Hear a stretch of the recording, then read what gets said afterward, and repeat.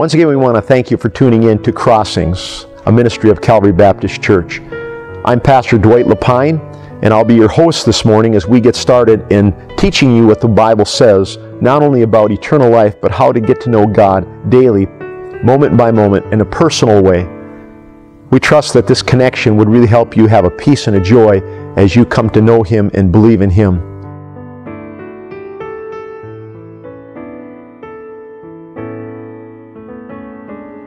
Lot of times when we don't feel like we have anything to offer this world. This world seems to be at peace and in joy, and we come home and we're tired, we're exhausted from the work we've put in, we don't have anything left. Emotionally, we're drained. We may help. Last week, I think I had six messages to pre- prepare, and after preparing six messages, devotions or whatever, your brain is just turned into spaghetti. And then it's tough to think at all, period. Then people come into the office and you try to help them with counseling, and it's tough to know how to help people. You just get exhausted. And the older I get, the harder it becomes. There was a time when I could come up with a sermon outline in 15 minutes. Now it takes me hours to come up with an outline of what I want to be, be talking about. But the Bible, I think, is very clear that God has given us something to offer people light and salt. Every person on this earth who knows Jesus Christ as Savior is salt and light.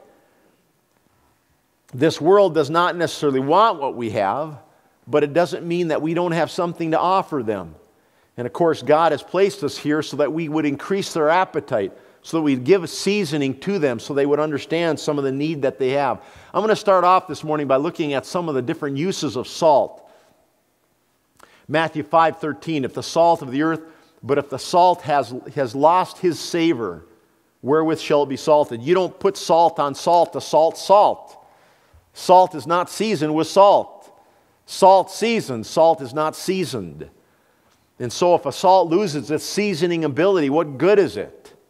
This world is made up mostly of salt. It's one of the most central ingredients that God placed into this world. And you understand when God is creating this world, it's not by accident that He does this. God is using every single thing on this earth as an illustration. Every single thing on this earth that you see on this earth has been created by God with a mind and an intellect to think that this is something we can use as an illustration so you understand more about God and more about your purpose in life. And God, when He's creating salt, is thinking, what are the characteristics that I want to put in salt so that people can see something in their own life that needs to parallel what salt can do? And I want people to understand this as an illustration, so I'm going to put this on this earth so people can understand something about my word. Later on, when my son comes to this earth, he's going to use this illustration of what salt is like. And he says basically, salt has two purposes. The purpose of salt, of course, is to season food. The purpose of salt is to trample underfoot. And in Minnesota, of course, we use salt to trample underfoot. Salt has a great purpose in Minnesota. We use it all the time. We use more salt than probably any state in the union because we need it to, to combat snow and ice. But salt has two basic purposes, and God placed those purposes in salt when He created salt, years and years and years before man ever, you, you ever lived, when, when this world was created. The illustrations, of course, that God has placed into salt, I want to share with you. First of all, I want to tell you that salt can be destructive. We want to start with that. Salt can be destructive. Every ocean liner that sails on the ocean sails in salt. And when it's put, when, it, when it's steel, steel has a problem with salt. And so ocean liner vessels have to be coated to be able to withstand the salt of the ocean. Salt can be very destructive. I don't have to tell you that, not in Minnesota. But when I lived in Florida, it was very interesting. I went and bought a van one time. I bought a van in Florida and I looked underneath it and there didn't seem to be a lot of rust. I said, This isn't too bad. I brought it home and I noticed that there was some rust up on the, the roof. And I would grab the, the rain gutter and I was able to lift the roof up an inch. It had rusted, the roof, the rain gutter had rusted out in that van. Weird. I'd never thought about rust from the rain gutter. But in Florida, when you have the breezes coming off the ocean, sometimes the mist and the wind can push that salt, and the handrails of anything in Florida along the coast is all rusted. Anything that's steel is all rusted. Concrete gets all deteriorated in Florida because of the mist of the salt. Salt can be very destructive. And you look at Judges 9:45, Abimelech fought against the city all that day, and he took the city and slew the people that were there and, and, and, and beat down the city and sold it with salt. And I'm sorry about the way it, the verse does, because when we switch it sometimes to this computer, it changes it completely with this different font. But um, he beat down the city and sold it with salt. Why? Well, what happens is you can't plant any food. He wants this city never to be rebuilt. People can move into this city, but they can't build, can't grow any food, any food. He sows this entire fields with salt so that nothing will grow. It's very destructive. Again, we've got a problem again here. I don't know if, uh, if, if Logan, are you around? Can you check and see if we can figure out? Is this working again? Okay, sounds good. Salt can be very destructive. We've got, uh, of course, the problem with Minnesota and Florida. The second thing I want you to understand is salt can be a, a preservative. Now, we understand this quite a bit, but before we, refrigeration, we, people used to use salt a whole lot more than they do now. Of course, salt can eat steel, but also salt can preserve meat. And people used to salt meat to ca- cause it to be preserved. And a lot of the things that you talk about, whether it's pickled, it's basically the ingredient that causes some, the preservative in that is salt. But people, Christians, are preservatives. We're placed on this earth to pray for people so that they would be preserved. And an illustration, of course, is Jonah and Nineveh.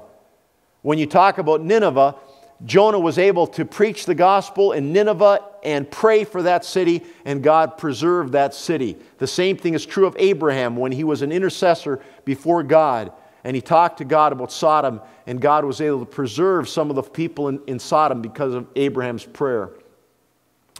The third thing is salt seasons. Now, please understand there's two things salt makes you thirsty, and salt makes food so that it's tasty. So it makes us hungry and it makes us thirsty. And we hunger and thirst because of salt. Salt can cause us to be hungry and thirsty. Now, I want you to understand when we talk about this, you and I have the ability then, because we are salt, according to this verse in Matthew 5, to either use salt for destruction or for good, for good or for evil. We can use the salt within us to help preserve this world, to help season this world, to help this world to be hungry and thirsting after righteousness, or we can be very destructive. And when this world looks at us, they see that there is some real problems within Christians because Christians are extremely judgmental. Sometimes Christians do not use salt to season and to make thirsty. Sometimes Christians use salt to show that we're better than they are. We get so frustrated with the world because of their sin, and we want them to stop their sinning. This world can't stop their sinning. Without Jesus Christ, they have no way to stop sinning. And so we come up to them as becoming very judgmental that we somehow are better than they are. My father in law and I used to uh, build concrete slabs, and we built many garages. Well, one slab in particular that we built, brand new slab, he, this man called us back in the spring and he says, Look at it, how pockmarked it is. All of the, the concrete is flaking on the top. And my father in law looked at him and said, Let me ask you a question. Did you have a lot of salt on this floor this winter? Did you ever clean it off? And he said, Well, no. Because he said there was a lot of sand. And my father in law took that sand and he picked it up and was all salty. And he said, That's your problem. He says, You can't have that, that salt on that concrete. It'll eat up that concrete. Anytime you have salt, and most of the salt that we put out on the, the driveways here is not really, really that type of salt because it does eat concrete. Now, what I'm telling you is this there is no neutral territory. Either we are going to be used for the right purpose to help people, or we're going to be used for the wrong purpose. If our gospel be hid, there is no neutral territory here as a Christian. A lot of times people think as Christians, it doesn't matter. As long as I don't talk to people about Christ, as long as I'm a good person, I won't be a hindrance to the gospel of Christ. If I'm not seasoning, it's not going to matter to people because I'm not hindering them. But there is no neutral territory. When you look at Matthew 12 30, he that is not with me is against me. He that gathers, gathers not with me scatters abroad. It's a frightening thought because listen to me carefully when I say that there is no neutral territory when it comes to salt. If we're not gathering, we're scattering. That's what Jesus says here. He that gathers not with me scatters. It's not like I'm not gathering, therefore I'm okay.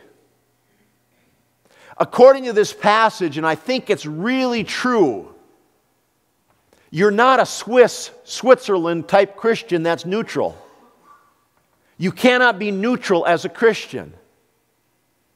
If you're not in the warfare winning people to Christ, then you are scattering people from Christ. I don't think there's any way for you to be a neutral Christian. Another verse that seems to be the opposite side of the coin, Jesus said, Forbid him not, for he that is not against us is for us. Yes, that's true. These people were casting out demons, but they were doing it in Jesus' name. It's not like they were negative Christians. These people were doing it in Christ's name, and the disciples forbade them and said, Don't do this. And Jesus said, Why are you forbidding them? These people are doing it in my name. If they're not against us, they're for us. And again, but I want you to understand this says the same thing. There's no neutral territory here. You don't stand still in the Christian life. If you're growing, that's wonderful, but if you're not growing, you are declining and you are backsliding. What happens in your Christian life, if you're not gathering, you are scattering. What happens in the Christian life, if you are not living for Christ, it means you're against Him. Now, that is really hard to comprehend. And the people in the church will look at that and say, I don't, can that really be true? Is it really true? But I really see in the Bible that there's no standing still in the Christian life. And the problem is this there's either or here, it's, it can't be both. Are you filled with the Holy Spirit? Yes or no?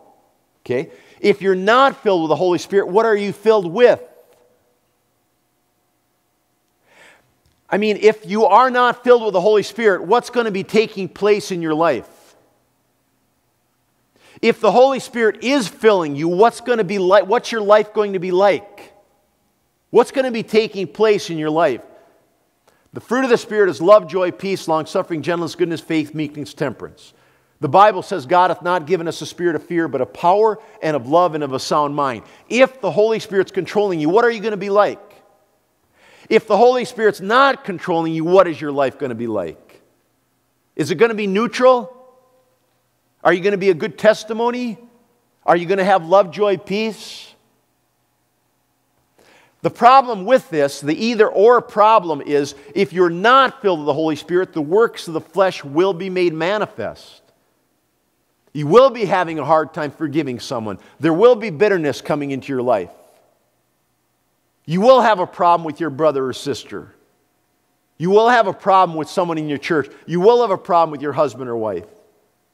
Those things will take place because love, joy, peace is not there.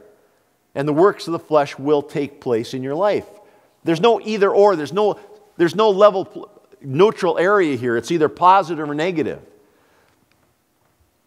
The second thing I want to share with you again is the importance of light. And again, we're looking at Matthew chapter 5 again. I want you to read this again with me.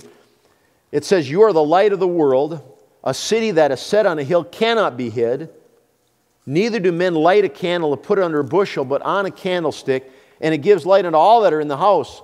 Let your light so shine before men, that they may see your good works. And if you wanted to say it, that they may see. We want men to see. We want them to see your works because they're wrought by God. We want them to see God. We want people to see. And the reason they can't see is because there's darkness around them. There are a few things I want to start off with, and I know you know these things, but real quickly, just by way of, of uh, getting some background to this, this particular part of this verse God is light. 1 John 1 5 says, This then is the message which we have heard of him and declaring to you that God is light and him is no darkness at all. Okay, God is light. We understand that. There's no darkness in, in God at all. You go back eternity past, there was no darkness. You go in eternity past, since God is light and God is omnipresent, light was everywhere. Now, what God does then, when He creates this world, it is very interesting because God has to create darkness. In this verse, it says, I form the light. He does not create the light. He cannot create the light. He forms it, but He creates darkness. I create darkness because there was no darkness before. So God is creating darkness. Now, what's the purpose of God creating darkness? The purpose for that is so that God can cause focus. If light is everywhere, there is no focus. And so God takes and He puts a focus point on the earth and has the stars focus their light on the earth and has the sun focus its energy on the earth and He has the earth revolve and rotate so that the rotation causes there to be a shadow. There was no darkness prior to that, but when God creates this world, what He does on the very first day, He creates darkness. He has to. There's no darkness unless God creates it. And all God does in that is He causes light to be directional. He causes light to create shadows which did not occur beforehand because in God there's no shadow of turning. There is no darkness in God. He says, Jesus said to them again, I am the light of the world. He that follows me shall not walk in darkness, but shall have the light of life. In him was life, the life was the light of men. And the light shines in darkness. The darkness could not overtake it or overcome it. That's what the word comprehendeth means. It could not overcome or overtake the, the light. Please understand that, that you cannot put darkness in a world, in a, in a room, and cause it to overcome the light. Light always overcomes darkness, darkness never overcomes light. Darkness cannot overtake light, light can overtake darkness. Jesus was the light of the world. That's the second principle. When he was in this world, he became the light of this world. He came to this world to be the light of the world. It's one of the reasons he came here. But the story of Christmas was that God that Jesus Christ was God's revelation of light. He was born in darkness, he died in darkness. He was born in darkness, he died in darkness, but he came to this earth to be the light of this world. Jesus said them, Yet a little while is the light with you. Walk while you have the light, lest darkness come upon you. He says, I am the light of the world. You walk while you have this light, because there's going to be a time coming when the light will no longer be with you. Now, the verse that you're looking at in front of you again, in Matthew chapter 5, it says, it says in, in verse 14, Ye, plural, are the light singular of the world. God has made us to be the lights of this world. Ye, plural, are the light singular of this world. Again, what I'm telling you about that is there's not a bunch of lights that are shining in different directions. There's only one light. There are many light holders, but there's only one light. We're not preaching ourselves. We're not talking about us. We're not talking about our goodness. We're preaching one light. We have the same focus of everyone else in this room has the same focus. The purpose of a light singular is because it's focused. And the church comes together to be a focal point. Even though there's many people in the church, we have one purpose, one focus. And God's standard then is still his command has not changed, let there be light. I want you to look at this, 2 Corinthians chapter 4 verse 6. God commanded the light to shine. Listen to this. For God, who commanded the light to shine out of darkness, has shined in our hearts to give the light singular of the knowledge of the glory of God in the face of Jesus Christ. Okay, now, what is this? God is the light, Jesus Christ became the light of the world. Then he says, You are the light. You, plural, are the light of this world. And then he says this God commanded the light to shine out of darkness. So, what's taking place here is again the command, the very first command, let there be light. The very same command that he gave in the very beginning in Genesis chapter 1 is the same command he's giving right now let your light so shine. God commanded the light to shine. So, the whole idea here is there's focal point here within this church. God has presented us to be the light holders. And then God has said to these light holders, I want the light to shine. Did you understand that? Do I understand that? Do I know what he says when he says, I want the light to shine? I'm commanding you to let your light shine. I want the light to shine out of darkness. And of course, in the context of this is if our gospel be hid, it is hid to them that are lost. I want the light to shine. I want you to share, share with you some of light's characteristics, some of the things that cause us to become what God wants us to be. The first thing I want you to understand is light makes manifest. Ephesians 5:13, but all things that are reproved are made manifest by the light, for whatsoever doth make manifest is light.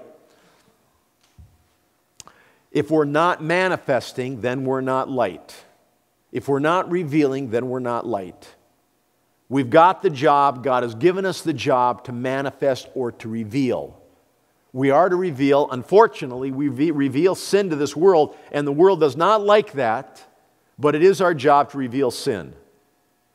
Because we do make manifest whatever is not reproved and make manifest. The second characteristic is that God wants the light to give guidance.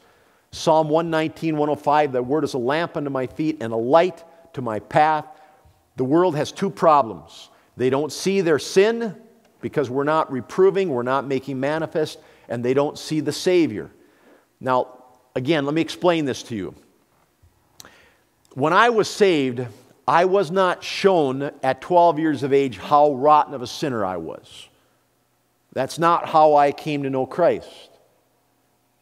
My grandma told me about how great heaven was, not how bad hell was. And so when she told me about heaven and that I could not go to heaven unless I received Jesus Christ as Savior, I wanted to go there. I want you to picture driving down Interstate 35. You're going south. And you get off at this complicated intersection to get some gas and get a bite to eat. And the intersection has a bunch of twists and turns. And you get off on this interchange and you get to the gas station. You get something to eat. And you get back on the, on the road. Only problem is you're going north instead of south. And you want to go south, but you're going north. Now, understand there are two things that can cause you to realize that you have a problem here. You can see a sign in your rearview mirror that says Albuquerque that way. You can see a sign behind you that talks about 20 miles to Des Moines. That can show you that you're going in the wrong direction if you see the right direction. Or you can see a sign that says Interstate 35 North and it can say, You are going in the wrong direction. Either one works. Either you can see the right direction or you can see the wrong direction. Each one works. And of course, the world, some people, there's a difference. Some people need to see their sin in order to see that they're going in the wrong direction. Some people just need to see what the right direction is, and they go in that direction. Either one works. But God has given us light for two purposes Light can reprove, light can make manifest, but also light can show the light of God's glory and can show the right direction. There are two different directions here. You can be saved by desiring heaven, or you can be saved by despising hell. Either one works. Let's go back to this problem here then. Matthew chapter 5. You are the light of the world. A city that's set on a hill cannot be hid. Neither do men light a candle and put it under a bushel. Men do not put light under a bushel. Candles are not designed to be put under anything, candles are designed to be put on top of things. The higher, the better. Because if you put it high, you cause it to light the whole room. And so, what he's saying, a city that's set on a hill cannot be hid. You put the light on top of a hill, you cannot hide that light. People can see it for miles around. And God is saying, All I want you to do is lift the light up so people can see it. You do not have to manufacture light. All I want you to do is lift it up so people can see it. Let your light shine. You already have light. We're looking at and saying, What do I have to offer this world? You are light, you are salt. The problem is, you can be used for destruction or you can be used for seasoning. Light, unfortunately, can be just as destructive. A candle can be just as destructive as salt. If it's put under anything, it can become very, very destructive, right? It's the same thing with the salt. All God wants you to do is get it out from underneath that and put it up on top of that so people can see it. They need to see it. You might be able to reprove them of sin, you might be able to show the glory of Christ, but the passage says that they may see your good works and glorify your Father which is in heaven. Now, I'm out of time, but I want to share two things real quickly. It is not enough for you to have good works. If you have good works and people look at you and say, Oh, look how good of a person he is, who gets the glory? The passage says two things that they may see your good works and glorify your Father which is in heaven. If you have a testimony that this is why I try to live a good life, because God is the one who empowers me, He gets the glory, not you. So you need a walk and you need a talk. You have to have both. You have words and a walk. You have a walk and a talk. You have to have both. If you're going to be a light, if you're going to be salt, it's not enough to live a good life. You have to point them in the right direction. They have to be able to see that your good works come from your Father in heaven, that He gets the glory, not you. But, friends, as a church, as Calvary Baptist Church, uh, once again, I just want to remind you this. The Bible commands, let your light so shine before men. God commanded the light to shine out of darkness. God says, let there be light. It's one of the most important commandments in the Bible.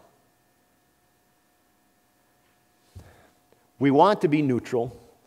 We want to go around and just live a good life so people can know that we're good people. But you can't be neutral. You can't be neutral. If the Holy Spirit is controlling you and filling you, you will be bringing glory to God, not to yourself. You will be sharing what Jesus Christ did on the cross because that's what the Holy Spirit's going to do. He's going to glorify Christ. I want to thank you for tuning into our program. It's been a delight to have you. I trust that you understand a little bit more about what Jesus Christ did for you when He died on the cross. Salvation is not something that you receive because you're born into a family or because you go to church or because you're good. Salvation is a free gift, but that gift has to be received. If you have not received it, we'd like to have you take some time to talk to God and ask Him that He might be your Savior. You understand that you are a sinner, that Jesus Christ died for you, that you can know that you have eternal life by putting your trust in Christ today.